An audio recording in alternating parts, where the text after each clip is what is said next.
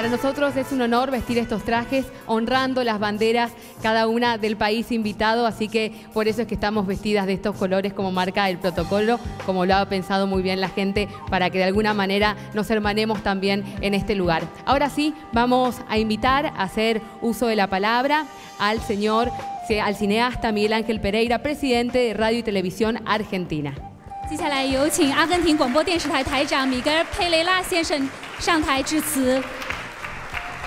Bienvenidos a todos.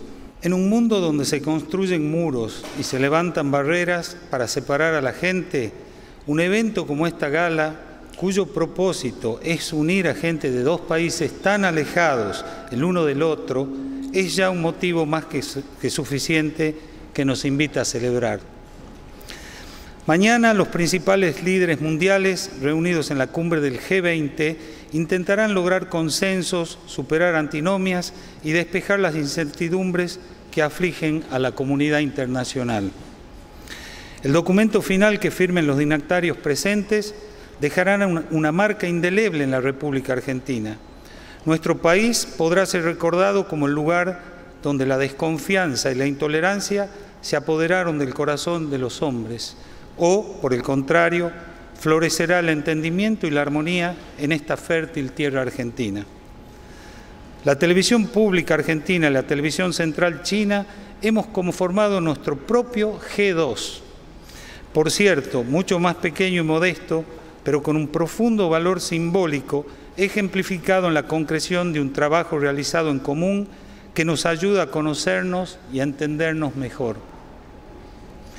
Que un gigante como la CCTV haya querido coproducir una serie documental con nuestra pequeña televisión pública argentina no solo está indicando una fuerte voluntad de acercamiento a través del trabajo, sino que denota una actitud de respeto hacia nuestro talento.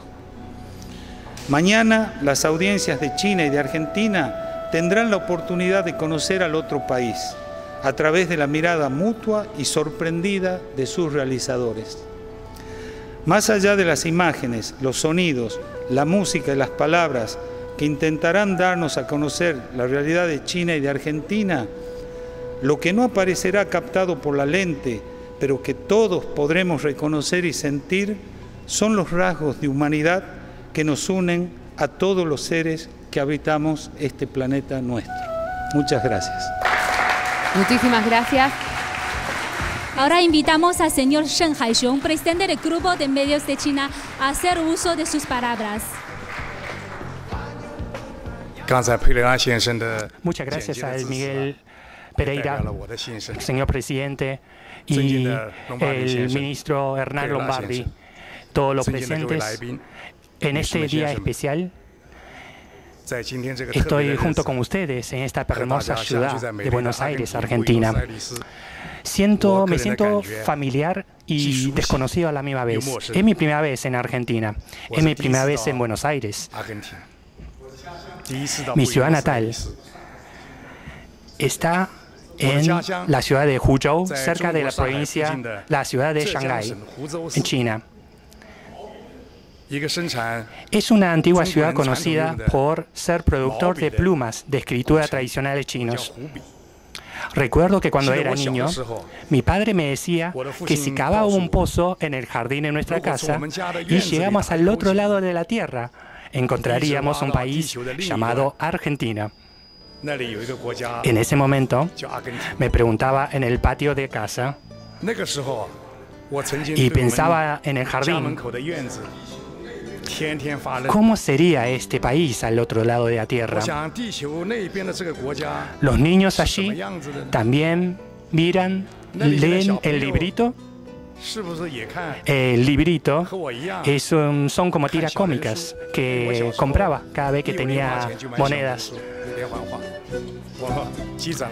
Con esta imaginación, con esta particular imaginación, eh, me fui impresionando de a poco sobre las imaginaciones de Argentina. Y empecé a conocer los símbolos de Argentina.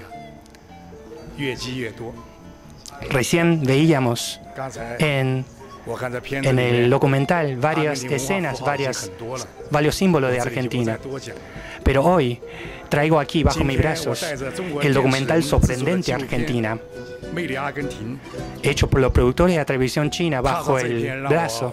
Me siento honrado de desembarcarme en esta tierra mágica que tanto he anhelado. En primer lugar, en nombre de China Media Group,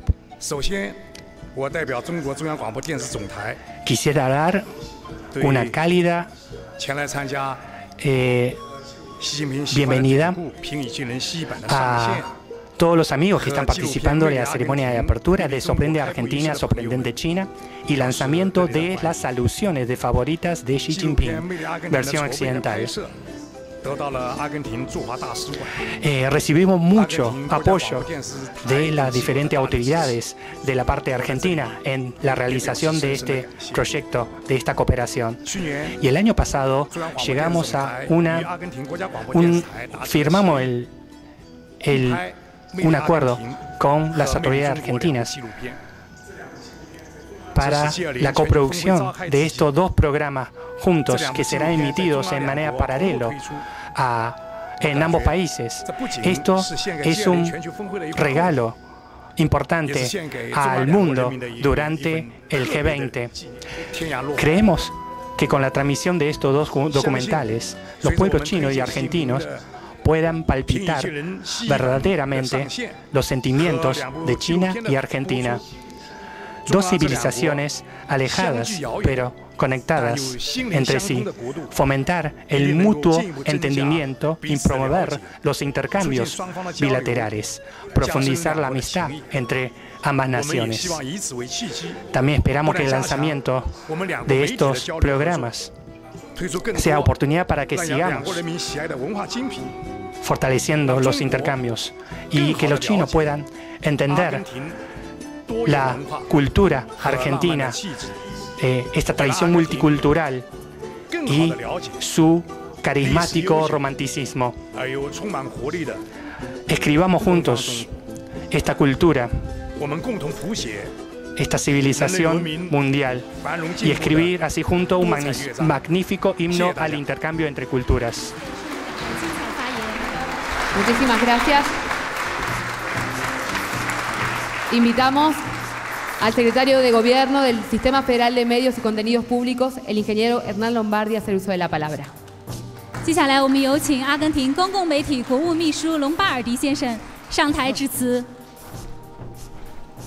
Buenos días. Hoy aquí estamos para celebrar, celebrar la cooperación entre CCTV, CGTN, y la televisión pública argentina para celebrar algo que simultáneamente es un final y un inicio. Es el final de las tareas que se dieron para poder llegar a Amazing, Buenos Aires, a Argentina y a Amazing China, pero también es el inicio de todo el futuro trabajo en común que tenemos chinos y argentinos. No quiero dejar de agradecer primero a todas las autoridades chinas que lo han permitido, a la gente, a las autoridades, señor presidente, del China Media Group, de SCTV, a, eh, a los productores que vinieron acá y estuvieron recorriendo nuestro país y que mostraron su enorme profesionalismo, que mostraron, como algunas imágenes se podían ver, con qué cariño tomaron la posibilidad de hacer un documental sobre Argentina para que lo vean centenares de millones de chinos.